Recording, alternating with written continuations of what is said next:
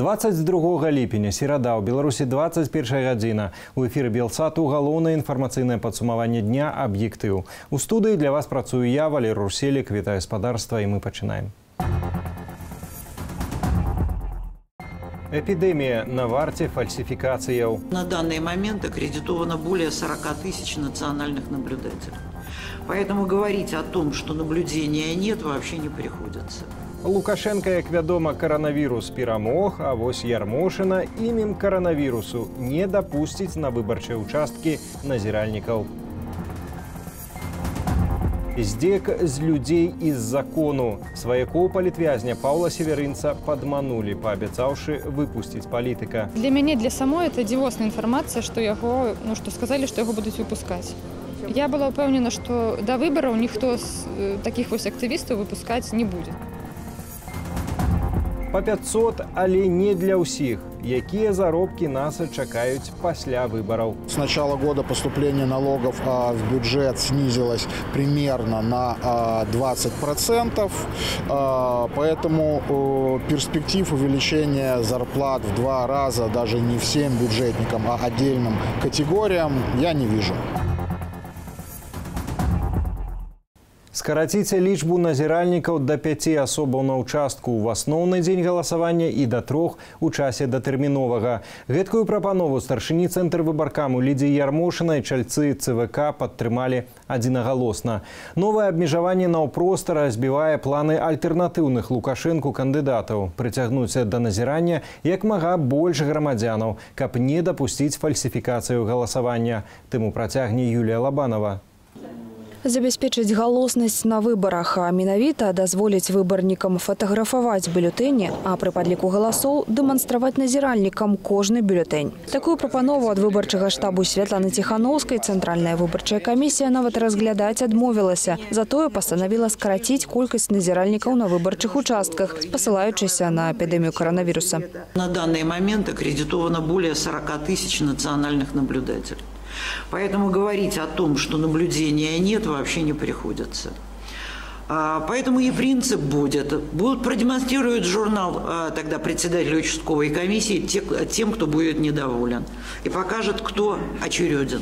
Гэтак вызначаць асобаў дапушчаных да назірання будуць паводле прынцыпу чарговасці у звязку з парадкам падавання ад іх заяваў на акрэдытацыю. Лік назіральніка на ўчастку мае не перавышаць 5 у асноўны дзень галасавання, не больш за тры пры датэрміновым галасаванні. такую логіку яшчэ можна было б зразумець калі б гэта б э, яна утрымлівалася утрымлівалася ў пастанове першапачатковай калі б загадзя людзі ведалі гэтыя правілы і тады б на іх можна было кіравацца зараз мы бачым што э, па многіх э, участках мэтанакіравана ўжо э, некалькі тыдняў рэгістраваліся вылучаліся праўладныя назіральнікі На сёння выбарчая камісія акрэдытавалі каля 43 тысяч назіральнікаў. Гэты лік ужо перавышае вызначаную колькасць назіральнікаў на ўчастках. Пры гэтым больш за 70соткаў спісу складаюць прадстаўнікі праўладных аб'яднанняў і партыяў. Ці давяраюць грамадзяне працы такіх назіральнікаў.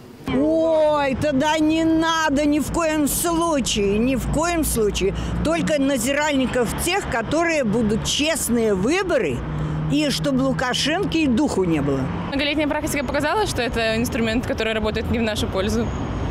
Вот и все. Если будут и наблюдатели независимые, то выборы все равно будут нечестные. Ну, потому что, как говорит Лидия Ермошина, главное, как считают.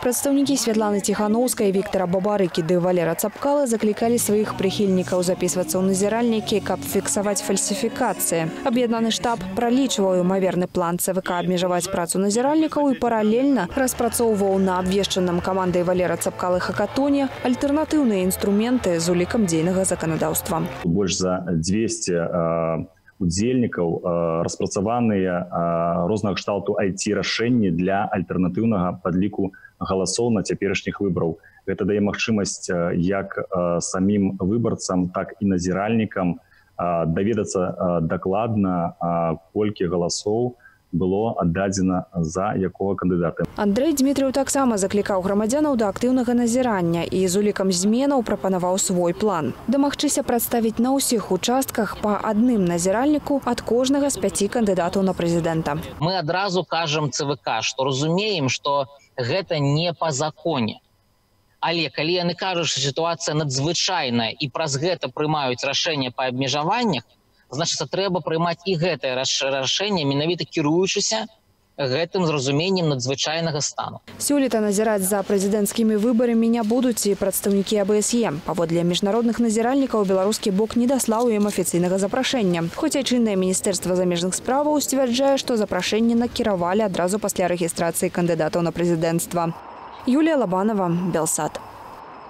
Гэтак і не сустрэлі. Дзве гадзіны сваякі сябры ды паплечнікі чакалі вызвалення палітвязня Паўла Северынца. Аднак марна, хоць акурат сёння ў палітыка завяршаўся тэрмін чарговага арышту. А таму лічба беларускіх палітвязняў, якія застаюцца за кратамі, не зменшылася 25 асобаў. Таму працягне Наста Каханович. Чакалі, чакалі, але гэтак і не сустрэлі. Палітыка Паўла Севярынца мусілі выпусціць сёння о чацвёртай гадзіне. Пра гэта маці і жонцы паведамілі праваахоўныя органы. Для мяне, для самой это дзівосная інфармацыя, што яго, ну што сказалі, што яго будуць выпускаць. Я была ўпэўнена, што да выбараў ніхто з э, такіх вось актывістаў выпускаць не будзе. Праваабаронцы прызнаюць 25 зняволеных у беларускіх турмах палітычнымі вязнямі. Двое з іх хацелі стаць кандыдатамі ў прэзідэнты. У СІЗА КДБ апынуліся і тыя, хто быў у ініцыятыўнай групе Віктара Бабарыкі. Дмітрый Карака, да прыкладу, быў затрыманы разам з Віктарам і Эдуардам Бабарыка. Яго вінавацяць ва ўхіленні ад выплаты падаткаў. Не так давно адвокат встречался с Дмитрием и э, рассказывает, что он бодр, в таком нормальном состоянии, хорошо держится. В письмах очень благодарит нас за все, за поддержку. Адміністратыўны пераслед за апошнія два месяцы зазналі больш за 400 чалавек. Сярод іх вядомы актывіст Зміцер Паліенка. Не начальство э, ЦИП и ВС не дает информацию, не дежурная, ни по телефону, ни в личном присутствии, ни в суде, ни в канцелярии, нигде никто не дает никакой информации. Яго судзілі на 15 сотняў за фотаздымак у сацыяльных сетках, дзе быццам бы ён, трымаючы ў руках каструлю, заклікаў да флешмобу. Жонка актывіста кажа, што цяпер яму далі 45 сотняў, за што астатнія няясна. Малады чалавек таксама абвесціў галадоўку. Он говорит, что плохо себя чувствует, э, вот, что ему нужна помощь. Э, Приходит местная медсестра, э, которая ну, э, дежурит э, в ИВС, э, меряет ему температуру, давление, и говорит, что ему скорая помощь не нужна. Жаніха Надзеі Салодкай Вяргілія Ушака затрымалі ў горадні разам з Сергеем Ціхановскім. Яго, як і блогера, вінавацяць у падрыхтоўцы дзеянняў, што груба парушаюць грамадскі парадак або ўдзел у іх. Пишет он каждый день, но письма обычно я получаю только раз в неделю, то есть там сразу 5-6 штук. А, Он мне пишет, что, в принципе, у него то же самое. А, Пишет, что очень много э, получает писем от неравнодушных людей, то есть э, за один раз могут порядка 37 конвертов принести. Амаль месяц таму затрымалі адміністратара тэлеграм-каналу Беларусь галаўнога мозгу Ігара Лосіка. З тых часоў жонка яго не бачыла, а лісты прыходзяць з затрымкай. Почему, э, если ты высказываешь какое-то мнение, которое отличается от мнения э, государства, тебя должны за это либо сажать, либо давать штрафы? Я так не считаю. Это все очень ужасно, и этого быть не должно. Большасць сваякоў затрыманых перакананыя, мужчыны ні ў чым не вінаватыя і спадзяюцца на вызваленне родных. Наста Каханович, Белсад. Сына не вызвалілі, ды яшчэ і маці арыштавалі. 810 рублёў штрафу за ўдзел у пікетах 30 траўня і 7 чэрвеня атрымала сёння Тацяна Северынец. Сённяшні суд это яшчэ адзін паказчык таго, што нашы чаканні марныя. Яны зноўку будуць вот так вот э, ляпацца як піражкі тыя пратаколы і людзей будуць судзіць, прысуджаць ім гэтыя штрафы ці даваць суткі. Ну карацей рэзервацыя.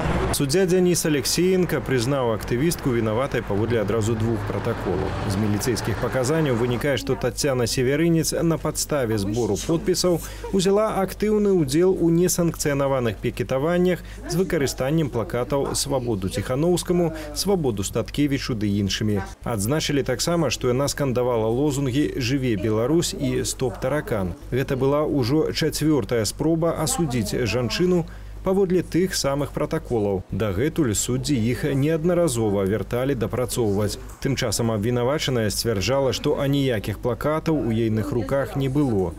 Аднак гэта не замінула суддзі прыслухацца да паказанняў сведак. Штораз перад выбарамі мы чуем чарговыя абяцанкі лукашэнкі пра рост заробкаў. А горклае адчаканне па 500 упершыню прагучала 14 гадоў таму.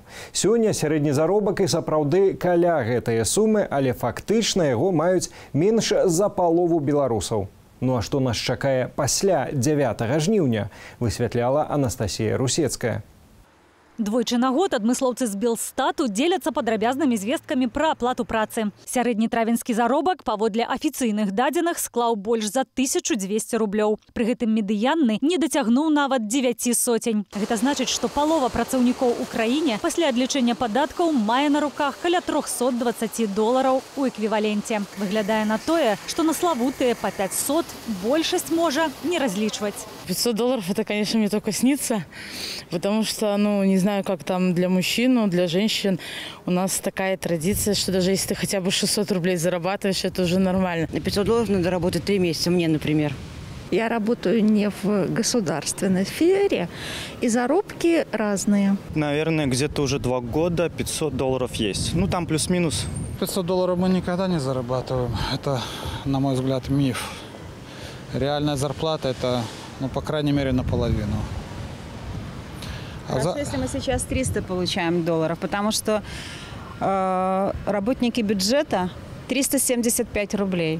Найлепшыя заробкі традыцыйна ў сферы інфармацыйных тэхналогіяў тры з паловаю тысячы рублёў у сярэднім абумоўлена гэта умовамі глобальнага рынку працы кажа Ярослаў раманчук калі напрыклад беларусаў будзе плаціць менш людзі просто не будуць у беларусі э, працаваць яны з'едуць у польшу з'едуць у літву з'едуць у краіну нават у рассею цяпер калі якая вот будзе ўвадзіць падаткавы манеўр на заробкі э, айцішнікаў сярэдні заробак недасяжны для большасці беларусаў трымаецца цяпер на абяцаным уладаю ўзроўні упершыню ж мантра плаціць по 500 прагучала ў 2006 годзе напярэдадні прэзідэнцкіх выбараў эквівалент 500 600 э, долларов это это, наверное, потолок, который может э, выдавать белорусская экономика, причем не всегда. И без э, изменения модели экономики, без реформ у нас будут э, вечные качели от 500 к 300, потом, может быть, в хорошие времена от 300 опять к 500. Мінулым месяцам Лукашенко паабяцаў павысіць заробкі ажно ўдвая у наступнай пяцігодцы. Не дело, что у нас врач, учитель, культурный работник имеют такую низкую зарплату. Ну, это потому что мы в экономике не очень хорошо работаем. На думку Вадима Иосуба, гэта ўсяго перадвыбарчае папулісцкае абяцанне. Каб плаціць бюджетникам удвая больш, трэба, каб адпаведным чынам выросла экономика. Сейчас мы имеем а, картину другую. С начала года поступление налогов а, в бюджет снизилось примерно на а, 20%. А, поэтому а, перспектив увеличения зарплат в два раза даже не всем бюджетникам, а отдельным категориям я не вижу. И когда улады будут глядзець вось на эканоміку як на нейкую скрынку савецкую так з серпом і молатам як сёння уже кажа прэм'ер-міністр у наступным годзе у нас узрост эканомікі будзе три з паловай адсоткі не маючы аніякага ўяўлення за кошт якіх ресурсаў Ну гэта просто ведаеце кухарка даўпраўлялася дзяржавай. Пасля ж выбараў паводле ацэнкі ярослава раманчука нас чакае крызіс якога мы не бачылі апошнія 30 гадоў Анастасія Русецкая, Белсад. Лукашенко не пачуў, дык можа хоць яго апаненты прыслухаюцца. Актывісткі руху маці 328, якія трымаюць галадоўку ў вёсцы востраў пухавіцкага раёну меншчыны, патрабуючы перагляду справаў іх дзяцей, сустрэліся з чальцамі штабу кандыдаткі на прэзідэнцтва святланы ціхановскай. На сустрэчы пабывала і журналістка Галіна Абакунчык. Актывісткі руху маці 328 трымаюць галадоўку сёмы дзень сярод галоўных патрабаванняў сустрэча з дзейным прэзідэнтам Александром Лукашэнкам. Да галадоўніц прыехалі прадстаўніцы штабу кандыдата ў прэзідэнты Беларусі Святланы Ціхановскай. Да дзвюх матуль, якія ввесцілі галадоўку, дадалася яшчэ адна і зараз галадуюць трое. Сёмы дзень дае пра сябе ведаць. Самаадчуванне ў жанчын пагаршаецца. Стою, сердце дрыгается, коленки колотятся. Не знаю, что к вечеру будет еще седьмой день все-таки у меня заболеваний предостаточно. Врачи не приезжают, потому что мы звонили э, в исполком, а, а когда пришли люди, э, давали э, заявление, чтобы врачи приехали к нам, осмотрели нас, э, сказали, что даже никто не звонил. То есть поэтому, конечно, очень странно, что власти себя так ведут, тем более перед выборной кампанией. Жанчыны дамагаюцца, каб адносна іх дзяцей быў перагледжаны прысуд і зменшаны тэрмін зняволення паводле так званага наркатычнага артыкулу 328, ягонай чацвёртай часткі, якая прадугледжвае самае жорсткае пакаранне. До 20 гадоў зняволення за выраб і распосюд наркотыкаў у складзе арганізаванай групы. У наших детей нет пароходов, нет самолетов, нет квартир, нет... Ой, ой, не могу. Нет банков чтобы деньги лежали. И наших детей сделали наркодилерами. Галадоўніцы заклікаюць Александра Лукашэнку абмеркаваць праблему, але безвынікова. Кандыдатка на прэзідэнта Святлана Ціхановская адмяніла сустрэчу з матулямі за гадзіну паводле сямейных абставінаў. Так прыехала і паведаміла яе давераная асоба Ольга Кавалькова. І Святлана Ціхановская, і каманда эксперты, у нас ёсць прапановы. Мы ведаем, што рабіць, як рабіць пасля таго, як улада будзе зменена і Лукашенко сыдзе са сваёй пасады. Актывісткі руху маці 328 пажадалі перамогі Святлане Ціхановскай і падарылі бел-чырвона-белы букет. Жанчыны кажуць, што іх галадоўка акцыя таксама і палітычная. Мы уже настолько созрели, что мы уже прям в этой политике. И правильно кто-то мне когда-то сказал, э, когда мы еще говорили, э, что не занимайтесь политикой, не ходите в политику. И мне сказала одна такая женщина, если ты не занимаешься политикой, политика займется тобой. Сегодня это случилось. Актывісткі руху маці 328 пастанавілі працягнуць галадоўку, маючы спадзяванне, што ўлады ўсё ж прыслухаюцца да іх патрабаванняў. Галіна Бакончык, Белсад. У кіеўскім саборы святога Александра адбылося ўрачыстае развітанне з нашым суайчыннікам, вайсковым медыкам Миколаем Ільіным, які загінуў на Донбасе пад абстрэлам прарасійскіх баевікоў, калі намагаўся выцягнуць пад вагню параненага пабраціма, а таксама цела яшчэ аднаго забітага украінскага жаўнера. На одній з позицій було поранено нашу військову. На одной з позицій був поранений наш військовець. Ранений був осколком. Миколай адреагував своєчасово, своєчасово оказав першу медичну допомогу. Усё як має бути. За кошт гэтага адабралі жыццё у Миколая. 36гадовы Миколай Ільін служыў у ва ўкраінскіх збройных сілах па кантракце ў 35 асобнай брыгадзе марской пяхоты. У 2006 годзе з-за палітычных перакананняў малады чалавек эміграваў у Эстонію і атрымаў грамадзянства гэтай краіны. У знак пашаны ягоную труну накрылі украінскім, беларускім ды эстонскім сцягамі. Па словах дзяўчыны загінулага прах Миколая плануюць развеяць у трох краінах. І напрыканцы выдання пра яшчэ аднаго нашага суайчынніка героя, толькі ўжо героя мірнага часу. Арнітолог Уладзімир Івановскі сваё жыццё прысвяціў захаванню драпежных птушак у Беларусі. 73гадовы навуковец уласнаруч майструе гнёзды на верхавінах дрэваў. Што тут скажаш? Без каментара. Все вперед по тропинке.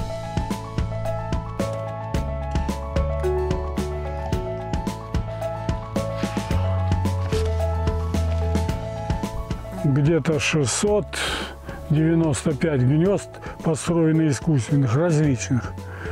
Как для крупных хищников, так и для мелких. Как для краснокнижных, так и для обычных видов. Потому что все страдают, как я уже сказал, от того, что все меньше и меньше деревьев, пригодных для постройки гнезд.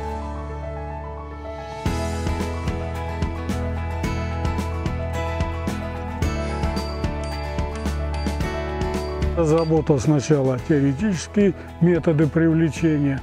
Но для этого нужно знать биологию хищных птиц. То есть нужно было найти как можно больше естественных гнезд. Провести анализ их расположения, как, где, на каких деревьях, какой части кроны и так далее.